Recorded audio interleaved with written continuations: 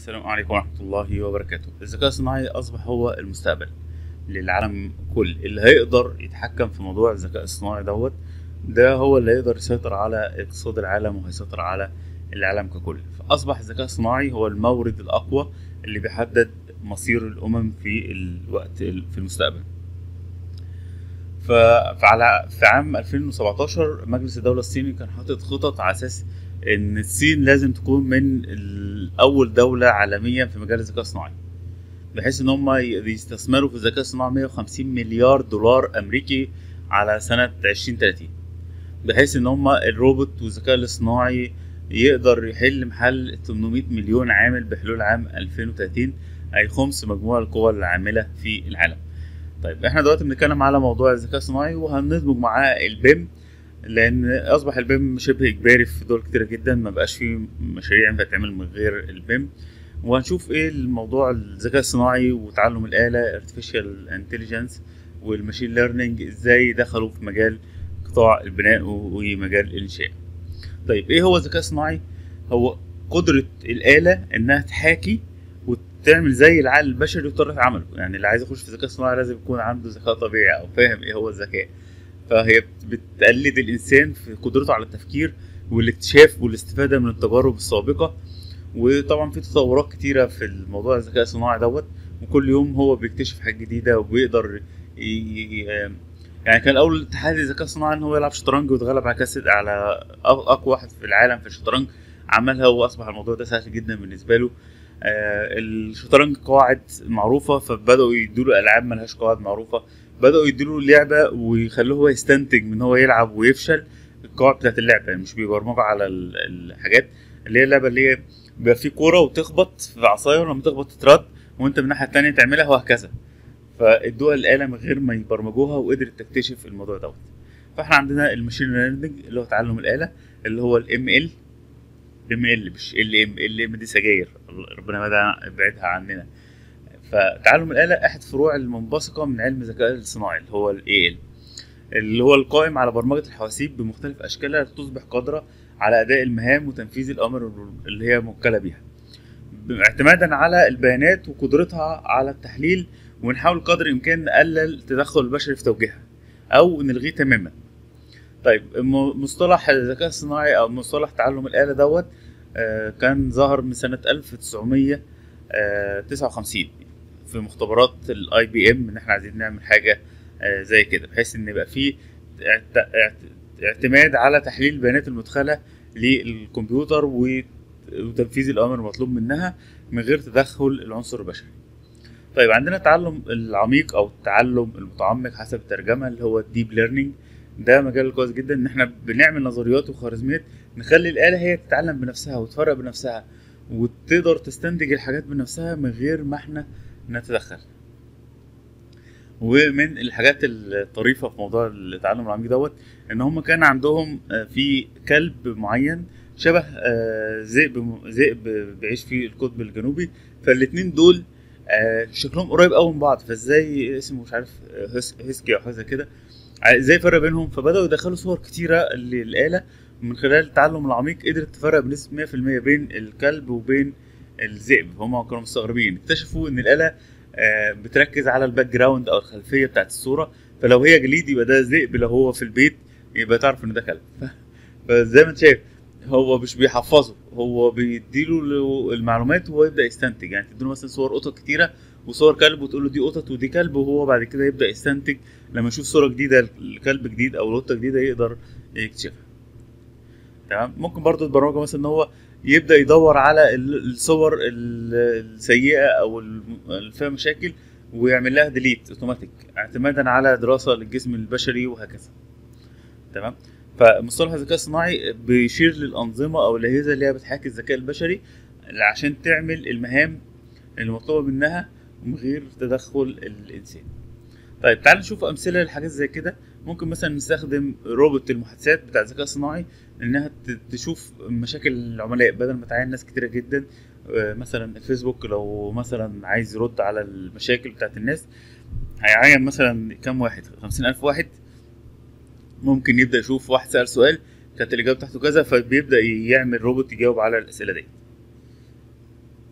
ال ال اليوتيوب على سبيل المثال انت مثلا اتفرجت على الفيديو دوت هتلاقي في الجنب كده وانت بتتفرج آه، اقتراحات لحاجات تشوفها.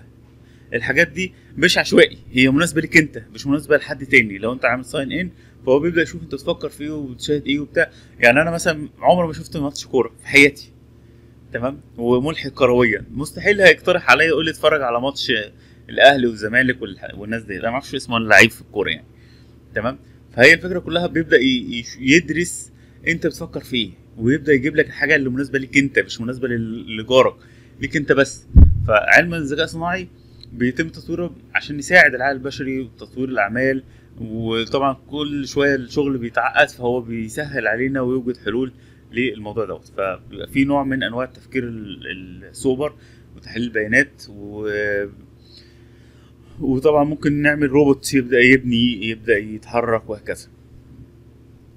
فبيقول لك إن مثلا ممكن نستخدم بعض التطبيقات للذكاء الصناعي يخفض تكلفة مشاريع البنية التحتية العملاقة ل 50% يعني لو هتكلفك مليار تكلفك مثلا 500 مليون. تمام؟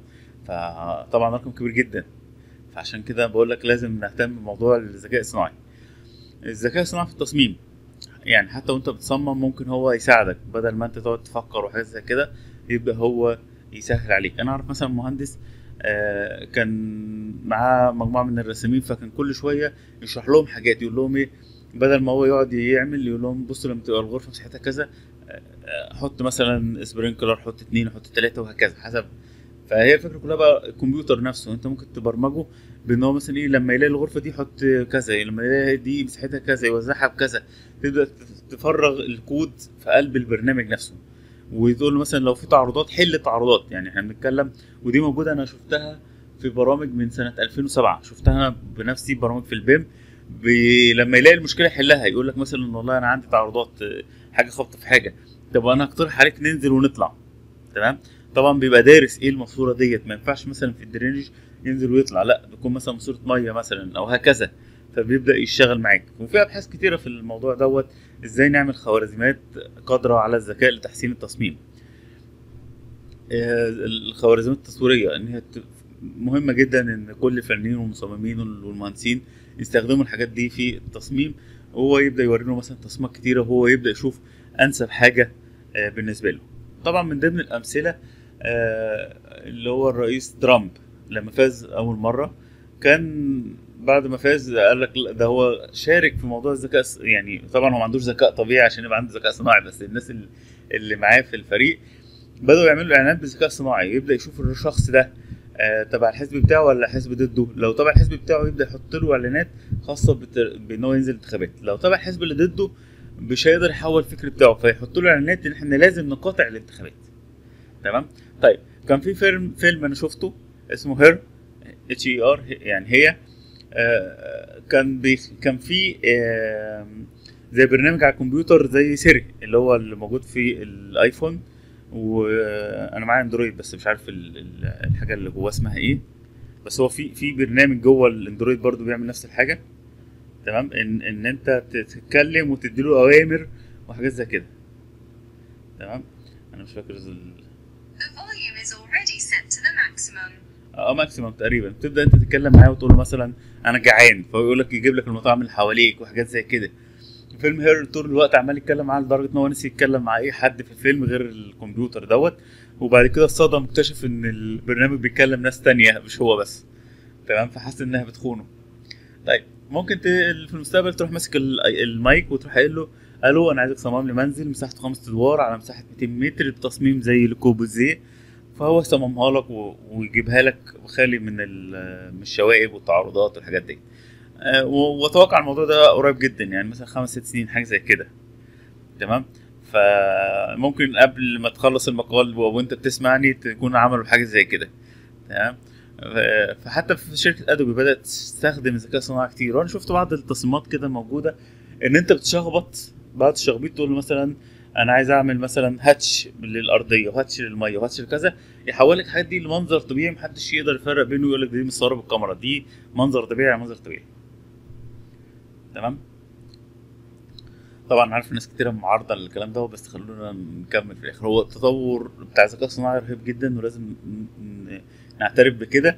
وأصبح في آه، درونز بيبقى عندها ذكاء صناعي إنها تاخد الحاجات وتبدأ تحطها. مش لازم تبقى ماسك أنت التحكم أو الريموت وتتحكم فيها. والطبعات ثلاثية الألعاب بدأوا يدخلوا فيها موضوع الذكاء الصناعي بحيث إنها تطبق وتغلط وتستفاد من أخطائها وما تكررهاش وتعرف فين الغلط والحاجات دي كلها.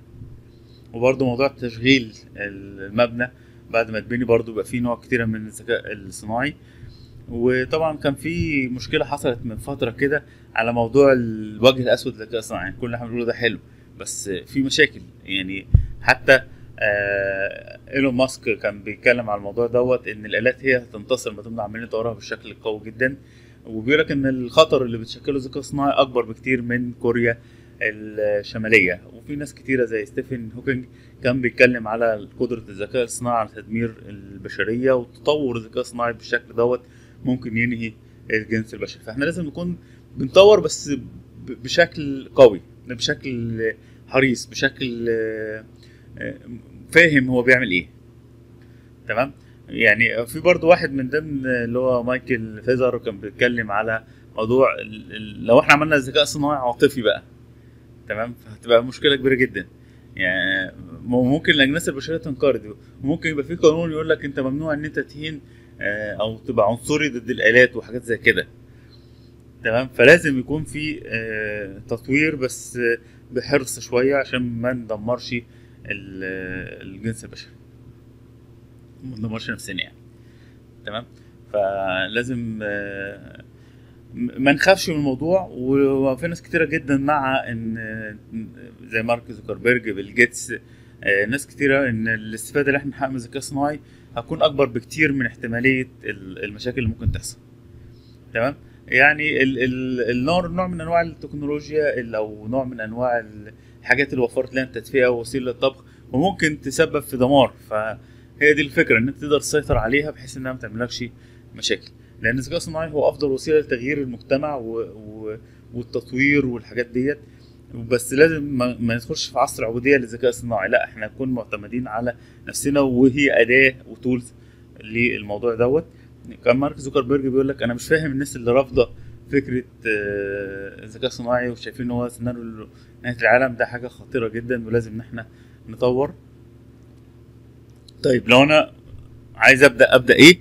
يعني أنا طبعا ممكن تتعلم لغات كتير جدا زي سي والسي بلس بلس والجافا الليسب البرولوج البايثون. أنا برشح لك ال Python لأن هي آه، سهلة وبسيطة ولها مصادر كتيرة في التعلم.